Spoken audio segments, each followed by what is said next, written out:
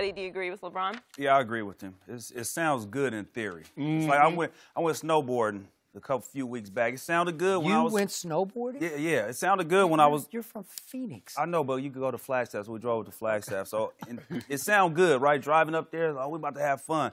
I spent more time on the ground, almost broke my ankle. So in theory, it sounded good until I went out there Yeah. and actually got whooped by that mountain. So oh. it's the same thing. You know what I mean? It, it sounds good, but you got to stay with what it is.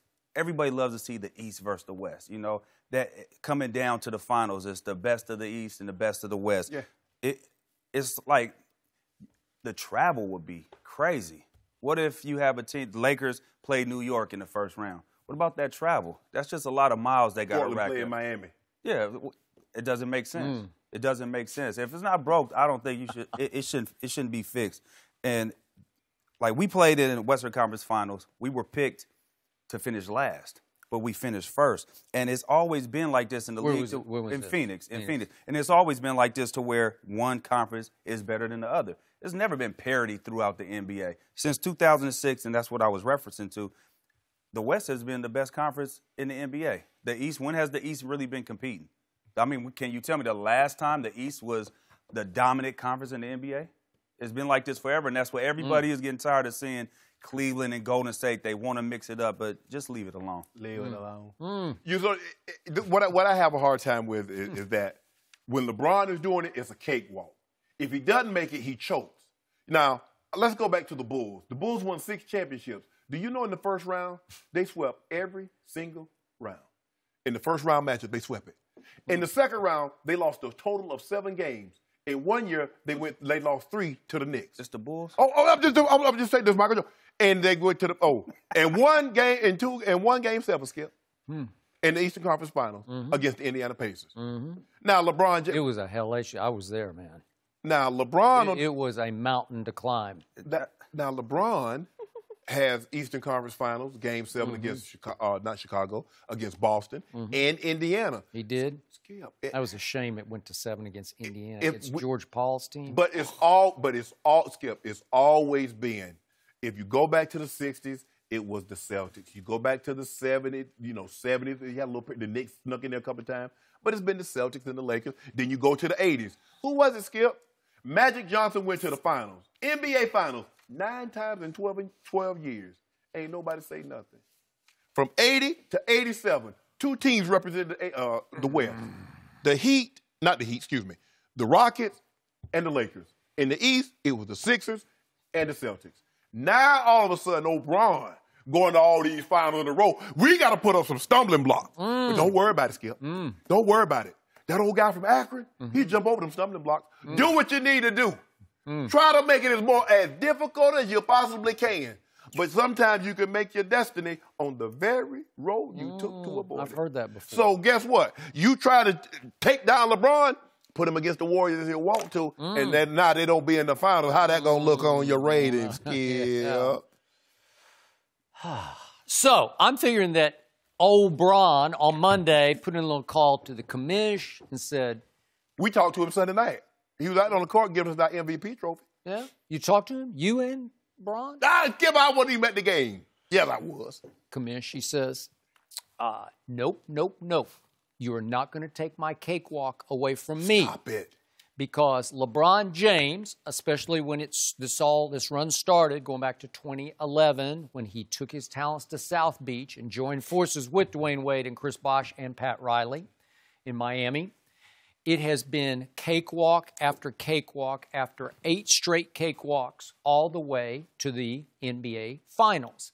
And each time, LeBron James also benefited from the fact that it was Murder's Row in the West battle royals back and forth where all who- whoever survived the, the western conference playoff path got beat up got worn out mentally and was not quite itself by the time it got to lebron so he's achieved eight straight finals that i'm giving him this year and if he stays in cleveland which we now suspect that he will it'll probably be 10 straight finals and that's what he's going to have to use as his claim to fame against the real GOAT, Michael Jeffrey Jordan, because that's all he's going to have is, I went to 10 straight finals. Now, his record is probably going to be 3 and 8 in the finals. Five and five at Five worst. and 5 at worst. So, so you're predicting it. You're on record that this year's new look Cavaliers are going to beat the Golden State Warriors, right? You're on record. We, we're going to cross Oh, we're going to cross that bridge. We're going to cross that bridge, even though it's on fire Can I ask you a question, Skip?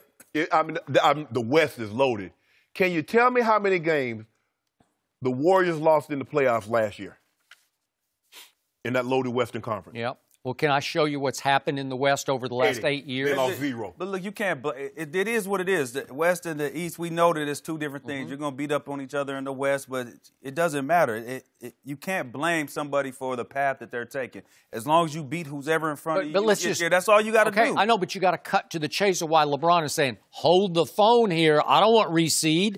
I I want cakewalk." But look, so you want to see like a, a Houston Golden State Finals? Well, that could be a conference final. If they're good enough to get to the final in a in a field of 16, Adam Silver trying to play they should be they should be good enough to get to the like conference Tom final, Brady. right? Tom Brady had this cakewalk.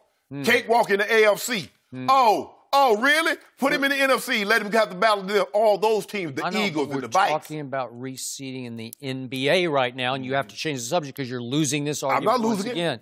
So You try to ta- take down Bron, in, it ain't in gonna happen. LeBron's path over the last eight seasons, well, seven really, but because we're, we're giving him the eighth, but seven years with eight sweeps and only two seven game series.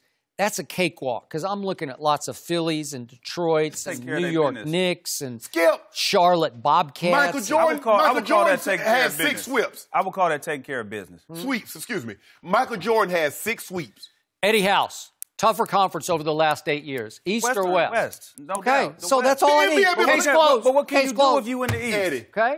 What Eddie. you, what you gonna knock them for getting to the finals? Like, oh, oh because it was easier Skip, for you to. It's hard. To You get to the talking about the last eight years? They've been playing basketball for 70 years. Hmm. Well, it's just been an, a long drought in the East, and LeBron James has benefited enormously from it.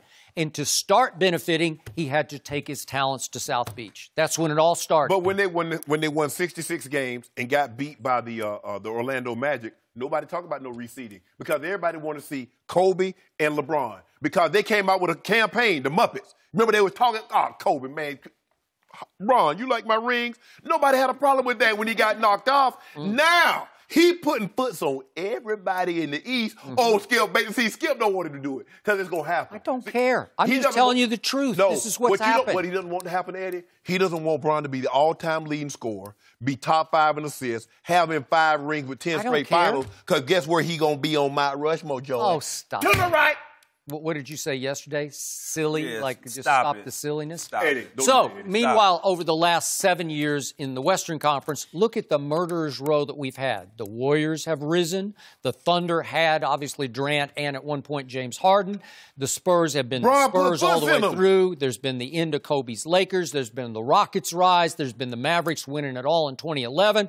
Two Grizzlies teams have won 55 plus games, and two Trailblazers teams have won 50 plus games. That's murderers' row. You don't have that in the East.